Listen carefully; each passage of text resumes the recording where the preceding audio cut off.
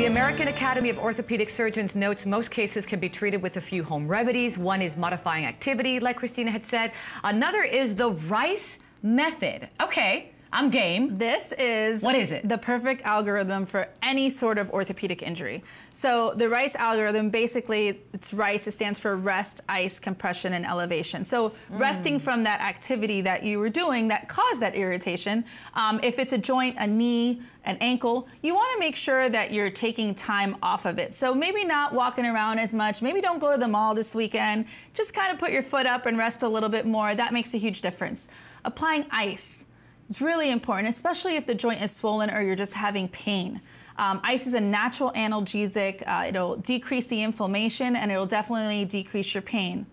A little bit of compression on the area also helps. So a compressive sleeve or a compressive wrap will help bring that swelling down. And last but not least, elevation. And this is the last one that most people don't do. I haven't done that yeah. one elevating the joint up. And when you elevate it, you want to make sure it's above the level of your heart.